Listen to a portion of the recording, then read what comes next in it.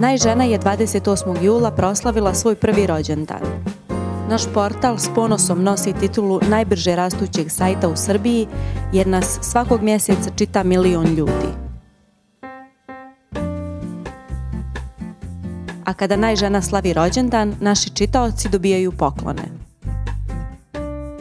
Darovali smo im Golden Rose kozmetiku, vulkanove knjige, lili vouchere, balone sa logom najžene, a glavna nagrada bila je sedmodnevno ljetovanje u Budvi. Naša proslava bila je vesela baš kao što smo i mi.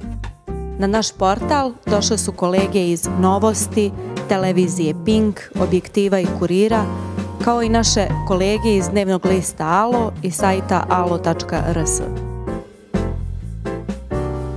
Hrabra, ali skromna, otvorena i bez predrasuda. To je najžena. A takve su i žene iz našeg video serijala Žene u muškim poslovima, koji su bile dio naše rođendanske proslave u restoranu Dva Jelena.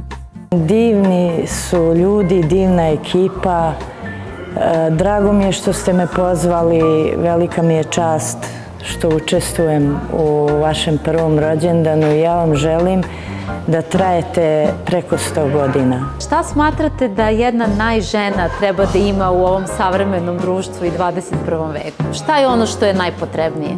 Pa treba da ima samouverenost, samopouzdanje, treba da se bori ono što zamisliš polako, ne može sve odjednom. Mislite šta je ono što je jednoj najženi 21. veka najpotrebnije?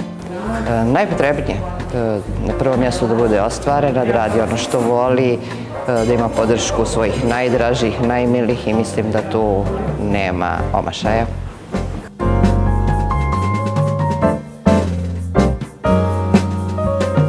Jelena, srećam vam prvi rođendan.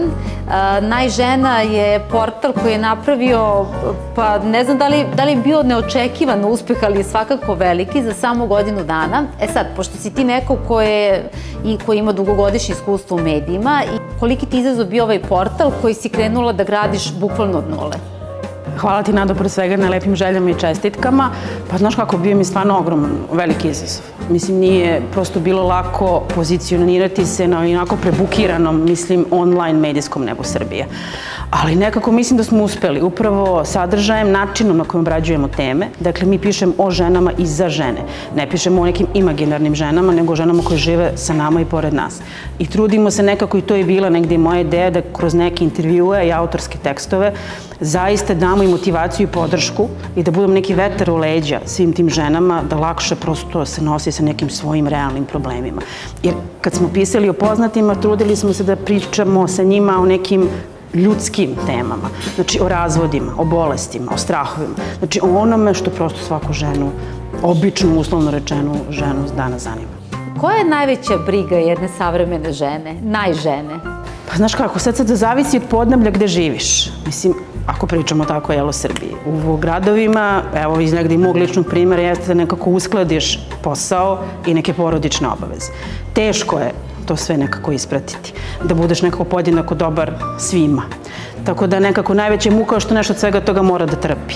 Tako da naći balans između svega toga mislim da je apsolutni uspeh kogod to, ovaj, kogo može i uspe to da uradi. Nije lako, ali evo mi se i trudimo nekako i kroz naše tekstove da pokažemo da i to može vi se trudite i da ih edukujete i da ih rasteretite. Tako, i da ih prosto informišemo. I trudimo se prosto da ta informacija pre svega budu proverene. Mhm. Znači da ne puštamo sve samo da bi pustili, zaista puštamo samo proverene informacije iz proverenih izvora. Tako je, to se naročito odnosi na tekstove o zdravlju. Tako je. Gde možeš da pročitaš svašta. svašta i toliko ima fejka i ljudi svašta, mislim, objavljuju, jer internet je jedno nepregledna džugla informacija nad kojom niko nema kontrolu, ali nekako uslov naš jeste da svaka ta informacija bude bude proverena nekoliko puta, pa čak i sa nekim lekarom stručnjakom pre nego što je objavi. Ali tebi to ne pada teško, jer si ti uspela da okupiš zaista sjajan tim, Jesam, da. žena. Na to sam naročito ponosna. Moj tim, ono tim, uh, mali tim velikih žena. Mhm. Ove, ja, on, zaista sam vrlo ponosna na mojih pet mojih, mislim se zvučim ko su, su, su Sulejman, brate, mojih pet žena. Vrlo sam ponosna na pet žena, mojih pet najžena, na Kristijanu, na Lanu, na Mariju, na Željku i na Milicu, koje su nekako pre svega dobre i normalni ljudi a onda samim tim i vrhunski profesionalci. Vrlo odgovorne, e, sa puno entuzijazma, motivacije, energije, dolaze na posao i nekako zajedno se trudimo da našim čitateljkama prezentujemo sadržaj koji će biti svaki put bolji, zanimljiviji, edukativniji. I mislim da je to suština. Mislim, u ljudi. Možemo mi, kako god, mislim, usmišljavamo, radimo, ako nemamo kvalitetne ljude, onda mislim da tog posla nema ništa. A ja imam i privilegiju i sreću da upravo radim i sa, ta, sa takvim ženama. Ne, vi ste stvarno složne. Yes. Ovaj... Tu su, svi se šokiraju, mislim, ono, kao s pet žena, kako je moguće, pa nekako je moguće nekako prosto sam poklopile su nam se energije, ideje, motivi i to stvarno ima dobar rezultat. Stabilne smo prosto u svakom smislu i to se onda, prosto, mislim, to se onda vidi i na kraju na finalnom rezultatu koji nam je naravno svima najvažniji, ili tako? Mislim da to je to neko naše 19. 20. mesto od 180 sajtova u Srbiji. Sledeća stanica, imaš li je u glavi? Imam i pripremamo nešto za jedne, ne bih sada da otkrivam. Mislim da će biti nešto novo, drugačije, da će biti zaista ovaj, kvalitetno i vrlo gledano.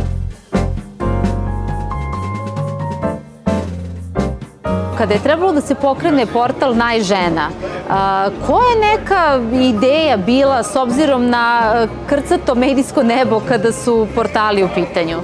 Hvala ti na tom pitanju. Generalno, Najžene je nama jedan od omiljenih projekata, pre svega zato što ispred Alo Medija sistema, to je prvi projekat koji smo napravili da pokažemo i našim čitaocima i inače kolegama da i tekako može da se napravi sajt bez brendiranog imena, od nule i da kvalitet zaista može da doprinese tome da ona bude prepoznata i danas kada slavimo prvi rođendan možemo se pohvalimo da je Najžene u top 20 od svih sajtova u Srbiji i u top 3 najčitanije sajta. Bilo je teško da smislimo nešto drugačije, ali smo se vodili time da napravimo svoj sadržaj, da napravimo svoje serijale i da generalno slavimo ženu kao takvu. Današnji ženski sajtovi nisu zapravo niše, nego su nekako svaštarski sajtovi. Mi zaista razmišljamo o ženama, onome što njima treba, ono što njih zanima i zato smo i napravili silne poklone baš za naše čitateljke i izuzetno nam je drago što je ovaj projekat jako uspešan. E, definitivno žene jesu te koje više vremena provode na internetu, ali tražeći kvalitetan sadržaj. Znači možemo da kažemo da je najžena nešto što daje proverenu informaciju i korisnu. Tako je i ne samo to, naš slogan jeste jer najžena je svaka od nas. Mi pristupamo i našem sajtu i našim čitateljkama onako kako bi pristupali samima sebi i jako smo ponosni i ja i naravno ceo naš kolektiv i uredništvo i kolege, što zaista naše čitateljke mogu uvijek da nam se obrate i nekako sadržaj se prilagođava njima i ne želimo da se one prilagođavaju našem sadržaju kao što generalno jeste situacija kod nas u medijima. Ko je za tebe najžena? Pa, kako bih rekla, kako bih mogla da kažem nekog drugog osim moje majke, normalno.